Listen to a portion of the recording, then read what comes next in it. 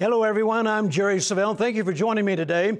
And it is a privilege to bring you the Word of God each and every week, and we thank God for this opportunity. I pray that you will just relax for the next few moments and allow me to share some great biblical truths that I believe will make a winner in life out of you. That's what God desires, that's His plan. And so I believe that I've learned some things over the years that have helped me become a winner, and I know that they'll help you become the winner in life as well. So I want you to very, pay very close attention. If it possible, jot down the scripture references that we'll talk about, study them later, and uh, please, if at all possible, I want to encourage you to write to me and let me know how that these messages are blessing you and inspiring you. We love hearing your testimonies. So take a few moments, share the testimony with us, and uh, please know that we welcome each and every prayer request, and we want you to know that we stand in faith with you, believing God for the miracles you need, for the breakthroughs you need our God is the God of the breakthrough. So today we're going to be talking about, and we're going to be dealing with this subject for the next few weeks. Quitting is not an option. Say that out loud with me. Quitting is not an option. You know, at some point in your life, you need to make that decision. If you don't make that decision at some point, you're going to be faced with the temptation to give up every time it gets hard, every time it gets difficult, every time it looks impossible. And you know, that's what the devil wants you to do. He wants you to just quit. He wants you to just throw in the towel, so to speak. He wants you to just walk away, turn your back on God, and just say it's not worth it. Well, listen, it is worth it, and God is on your side, and He's promised that no weapon formed against you shall prosper. So, what you need to do is make the quality decision that quitting is no longer an option. Now, once again, you need to make that decision right now so that it's settled once and for all. You know, I began this walk of faith back in 1969. And prior to that, I was a quitter. I looked for opportunities to quit. In fact, I, I, always looked for the path of least resistance. That was somewhat my nature. But once I got a hold of the Word of God, once I began to find out that I didn't have to quit, that I didn't have to accept failure and defeat, then praise God, my life began to change. That was a long, long time ago. In fact, 49 years ago. And if you ask anybody that knows me well, I do not quit. I do not give up. I do not accept failure or defeat. And praise God, I have mastered the art of standing on the Word of God. The Apostle Paul said, having done all to stand, stand. In other words, you just keep standing because if you're willing to stand and refuse to give up, then God is going to come through for you. That's a guarantee. So let me encourage you today make the decision that quit is no longer an option. Say that with me. Quitting is no longer an option in my life. Come on, say it one more time. Quitting is no longer an option in my life. Now, if you have your Bibles with you, let's open them to Hebrews chapter 10. Hebrews chapter 10, and I'd like to read verse 23 first of all. It simply says, let us hold fast the profession of our faith without wavering, for he is faithful that promised. He is faithful that promised. That's one of the reasons why that I refuse to quit. Because God's word says that he's faithful that promised. Who else do you know that is so reliable as God? Who else do you know is so uh, dep- so uh, that we're so able to depend upon. That's what I'm trying to say. Who else do you know that will not back off His promise? He will see to it that it is fulfilled. All He asks for us or out of us is that we be willing to stand on it, that we take Him at His word, that we refuse to back down. And sometimes I realize that's not the easiest thing to do. But if you make the decision that quitting is no longer an option, then it becomes easier and easier. In fact, it becomes lifestyle. I don't even think about quitting anymore. That is not something that, that I have to deal with. I just know that I know that I'm going to stand on the Word of God no matter how impossible it looks, no matter how long it takes, because God has been coming through for me for 49 years, and I don't believe that He's going to change. I believe that He is faithful that promise. Say that with me. My God is a faithful God. Say it again. My God is a faithful God. Now, notice here it says, hold fast to the profession, or another translation says, confession. Hold fast to the confession of your faith without wavering. That means without doubting, without giving up, without turning back. Why? Because He is faithful that promised. Now, often, and I realize this, during our endeavors to trust God and to walk by faith, we're tempted to give up. We're tempted to quit. Many times it looks like we're just wasting our time. Many times it looks as though um, it's to no avail. But that's what the devil wants you to think. See, this is where he deals the most with, or this is what he deals the most with your mind, your thinking. That's what he wants to uh, uh, plant the thought. That's where he wants to plant the thoughts that God cannot be depended upon, that his word is not forever settled in heaven. His word is not true. His word is not real, and it can't be depended upon. That's what the devil wants you to think. And if you ever have those thoughts, then you know where they came from. And the Apostle Paul says that we are to cast down every thought, every imagination that is contrary to the Word of God. So if you have the thought, it's not going to work, it's impossible, where do you think that came from? Is it something that you discovered from the Word of God? No, it's not. So it's a thought that was planted there by the adversary, and your responsibility is to cast it down. And the quicker you cast it down, the better off you'll be. If you just let it set there in your mind, eventually it's going to get harder and harder to get rid of. So the moment that a negative thought comes into your mind, cast it down. Take authority over it. Say it out loud. Don't just think it, cast it down and do it with force, do it out loud. You simply say, Satan, I reject that thought. I will not allow that thought to reside in my mind. That is contrary to what God's Word says. That's contrary to what God's promise says, and I refuse to allow it to stay in my mind. So notice here he says, Hold fast the confession of your faith without wavering, because He is faithful that promise. Say that with me again. I want to get you to say that often throughout this broadcast. My God is a faithful God. And that has got to be settled in your heart once and for all. Remember that God's Word is true. God's Word can be depended upon. He is a faithful God. Don't ever forget that. Don't ever let go of that because that's your motivation for standing. That's why you just decide that once you take that step of faith, you are not going to back off until you see the Word of God fulfilled in your life, regardless of how long it takes. So I want to encourage you get into your spirit, deeply rooted into your spirit, that my God is a faithful God and His Word will not return void. Hey, listen, I want you to watch this special announcement, and then we'll be back to finish this lesson in just a moment.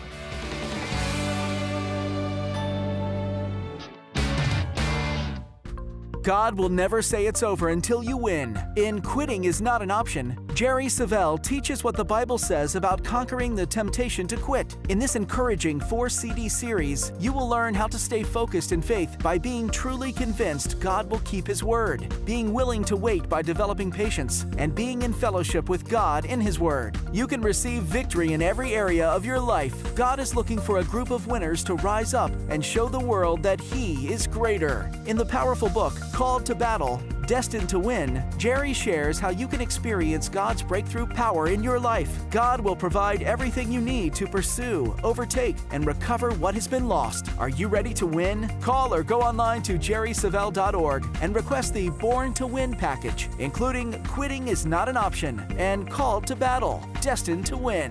Make the decision today to never give up, to never quit, and to watch what your persistence will produce. Hey, listen, at the end of the broadcast, we'll show you that promotion again, just in case you didn't have time to write it down. But I want to encourage you, make your plans to order these special resources because they are faith building and they'll help you learn how to make quitting a no longer an option in your life. Amen? So let's get back to our lesson. Once again, Hebrews 10 23, let us hold fast the profession or the confession of our faith without wavering, for he is faithful that promise. Then, verse 22 from the Amplified, just back up one more verse. The Amplified Version says this Let us approach God with a true and sincere heart in unqualified assurance of faith. I like the sound of that. In unqualified assurance of faith. Notice that you can have assurance when you live by faith, when you walk the faith walk, praise God. God says that you can be assured. What can you be assured of? That He is true, that He's not a man that He should lie, that His word will be fulfilled. That's what keeps me going, praise God. You know, if I didn't think that God's word was true, then I wouldn't be able to stand. I wouldn't be able to resist the temptation to quit. But I know that I know that God's word is true. I know that I know that God is faithful. And I know that I know that if I refuse to give up, then He will make it come to pass. So that's my motivation, praise God. That's the assurance that I have that when I stand on God's Word, He will not let me down. Now, you might say, Well, I know people that have stood on the Word and it didn't come to pass. Well, you, you have to you have to let go of all those uh, negative reports. You know, I know people that said, well, we stood on the word and it didn't come to pass. But I'm sorry that it didn't work for them. But I can't base my faith on their experiences. I'm going to base my faith on the Word of God. Now, I'm not trying to be hard, but the Bible says it will work.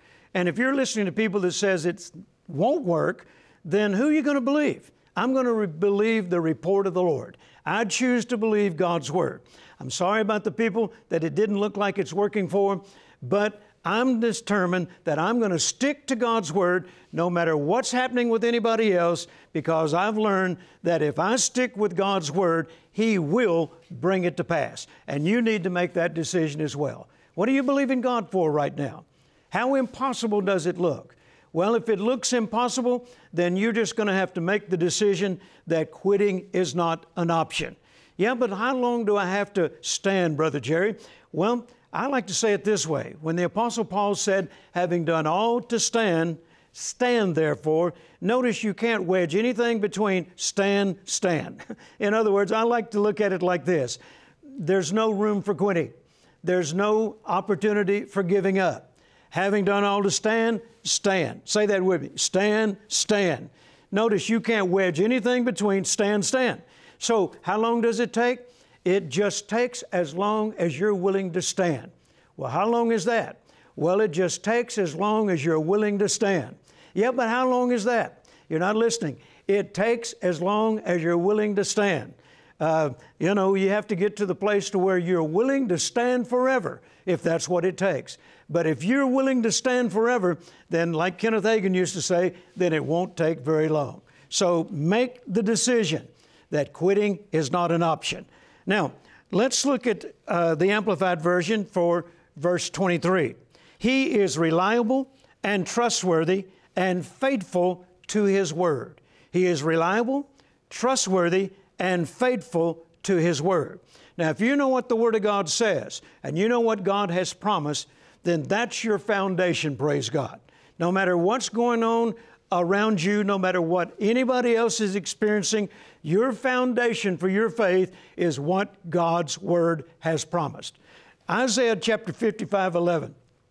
It says, My word that goes forth out of my mouth will not return unto me void. It will accomplish that which I please, and it will prosper in the thing whereunto I have sent it. The message translation reads this way the words that have come out of my mouth will not come back empty handed. They'll do the work that I sent them to do, they'll complete the assignment that I gave them. I love the sound of that. Every promise of God has an assignment. That assignment is to be fulfilled. God doesn't make promises that He doesn't intend to fulfill. Now, people do, but God doesn't. He's not a man that He should lie. He doesn't exaggerate. He doesn't promise something and then, you know, back away from it. No, He gives His word and He intends to keep His word. He's not like people, He keeps His word. And He says, every promise that He has given us, and there are many in the Word of God, every promise that He's given us has an assignment. And that assignment is to be fulfilled in your life. If God's Word says that He shall supply all your need according to His riches and glory by Christ Jesus, that's Philippians 4:19, that's a promise from God, then God has placed an assignment on that promise. And that assignment is be fulfilled. And that's the reason I'm standing on it. That's the reason that I'm believing God for it. I, that's the reason that I won't quit. I know that God is interested in every minute detail of my life. He cares about my needs. He even cares about my wants, and He cares about my desires. And He's promised to do something about them. Now, I have a part to play. He's not just going to make all of this happen without me doing my part. My part is to trust Him. My part is to release my faith. The Bible says it's impossible to please God without faith. So if I release my faith and my trust in Him, that's my part, and I refuse to give up, then His part is to see to it that His Word comes to pass. Now, folks, I've been living this way now for 49 years, and if it didn't work, don't you think I would have found out by now? And if it didn't work, then I'd be preaching something else. But it works, praise God. And thank God I have this great testimony that God has never let me down. Not one time in 49 years. Now, I'll tell you what, there's been some tough times and there's been some challenging times, and there have been some times where it looked like it was never going to come to pass. But I just made up my mind that quitting is not an option. Have you done that so far? If you haven't, say it with me right now. Quitting is no longer an option in my life. Stand with that. Take that and run with it, praise God. Don't back off because God wants to fulfill every promise that you find in His Word. His desire is to fulfill it in your behalf. Why else would He give it if He didn't intend to fulfill it? Can you say amen? Why would He make promises if He didn't intend to fulfill them? So, once you find from the Word of God, if it's healing you need, then go to the Word of God. Find out what He says. By his stripes ye were healed. The Bible says that you've been redeemed from every sickness and every disease. You've been redeemed from the curse of the law. Now take that. Stand on it. I've done that. Praise God. In fact, you're looking at a walking miracle right now. I've, i had a, situation in my life uh, just a short time ago, maybe, oh, I don't know, 18 months ago or so, where in the natural, uh, I wasn't to be normal again. Uh, I was to never preach the gospel again. I was to never travel again. I experienced a stroke, and it left me with uh, this arm completely paralyzed, my right leg partially paralyzed, uh, total memory loss. I didn't even know my family. I couldn't think of one scripture, couldn't think of one sermon that I'd ever preached before. And it looked like that I was just going to be a vegetable for the rest of my life. But God, hallelujah. Does everybody shout, but God? Oh, I got to preach on me now. But God promised me that He would fulfill the length of my days, and I knew that my course had not been finished. I knew that God still had more for me to do. And the moment they released me from that hospital, within a matter of about three days, I was totally normal again. In three weeks, I was out preaching around the world. Do I look like a man who suffered a stroke? No, I don't. Praise God. And I want you to know that I stood on the Word of God and God made it happen. That's why I'm encouraging you today don't allow quitting to be a part of your life any longer.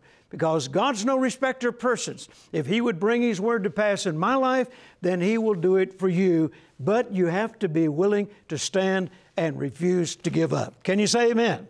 Romans chapter 10 and verse 17. This is important. You know this scripture, you've heard it probably many times before. So then faith cometh by hearing, and hearing by the Word of God. That's what causes you to be able to be strong. That's what causes you to be able to not waver. That's what causes you to be able to be uncompromising. Is the more word you get into your heart, then the stronger your faith will become. See, quitting is not just a mental thing. I mean, it's, uh, let me say that again. Refusing to quit is not just a mental thing, it's a spiritual thing. Of course, your mind gets involved, but it begins in your heart. You have to make the decision in your heart that quitting is no longer an option. And the only way that you can ever get that way is by putting the Word of God in your heart in abundance. And the Word of God has a way of changing your thought process, changing the way you think. You see, once you fill your heart with the Word of God and you find out what His plan is for your life, then that causes a faith to arise on the inside of you that refuses to give up. I want to encourage you spend more time in the Word of God. Spend as much time as possible in the Word of God. Why? Because faith cometh by hearing, and hearing by the Word of God. The more Word you put into your heart, the stronger your faith will become. And the stronger your faith becomes, then the more likely you are to be able to resist the devil when he's trying to tempt you to quit. In fact, eventually, over a period of time, it doesn't happen overnight, but over a period of time, you will get to the place to where quitting is no longer an option. You don't even think about it. You don't have to deal with it anymore. You just made up your mind a long time ago that we're going to stand and we're going to keep on standing until the promise is fulfilled. Praise God. Can you say amen with me?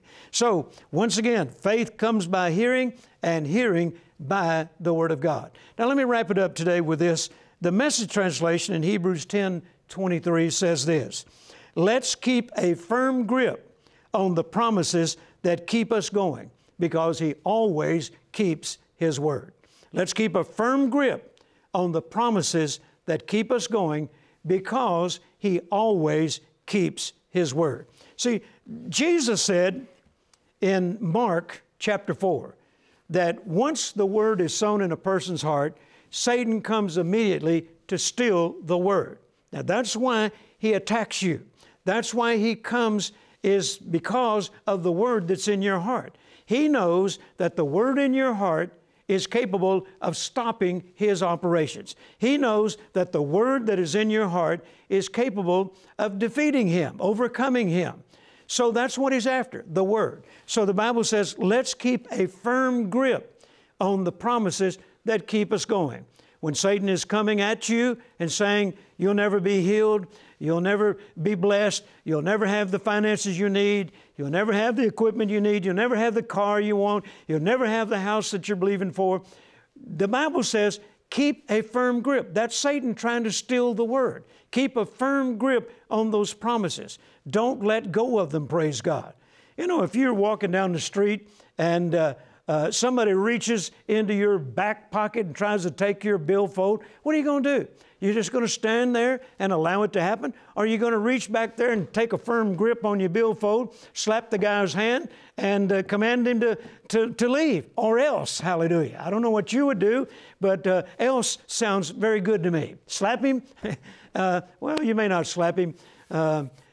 Like Kenneth Hagin used to say, tie him to a tree and pray for him all night. Praise God. Amen. But you're not just going to allow somebody to take something of value that belongs to you. So why would you let the devil do that? No, you keep a firm grip on the promises that God has given you. Don't let Satan steal the word from you because he knows that it's the word that makes a winner out of you. He knows that it's the word that is, enables you to overcome every attack that he launches against you. So, once again, keep a firm grip on the promises that keep you going because God always keeps His word. Say it with me one more time. My God is a faithful God. And then say this He always keeps His word. Do you believe that today? Are you convinced of that? Praise God, I am. I think you can see that I'm thoroughly convinced of that. But I want you to get to the place where you're convinced of that.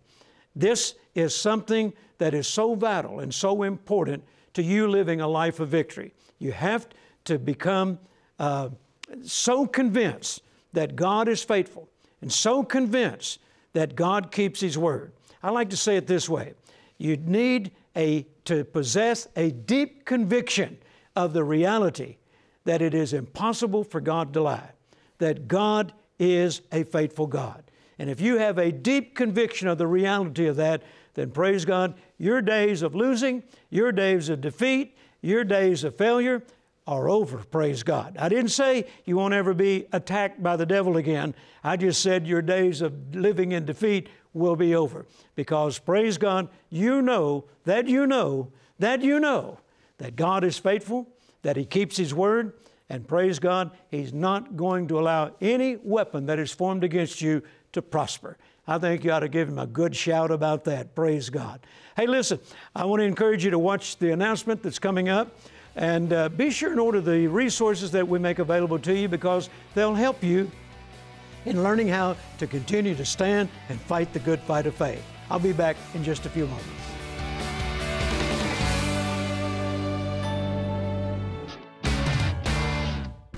God will never say it's over until you win. In Quitting is Not an Option, Jerry Savelle teaches what the Bible says about conquering the temptation to quit. In this encouraging four CD series, you will learn how to stay focused in faith by being truly convinced God will keep His word, being willing to wait by developing patience, and being in fellowship with God in His word. You can receive victory in every area of your life. God is looking for a group of winners to rise up and show the world that He is greater. In the powerful book, Called to Battle, Destined to Win, Jerry shares how you can experience God's breakthrough power in your life. God will provide everything you need to pursue, overtake, and recover what has been lost. Are you ready to win? Call or go online to jerrysavelle.org and request the Born to Win package, including Quitting is Not an Option and Called to Battle, Destined to Win. Make the decision today to never give up, to never quit, and to watch what your persistence will produce.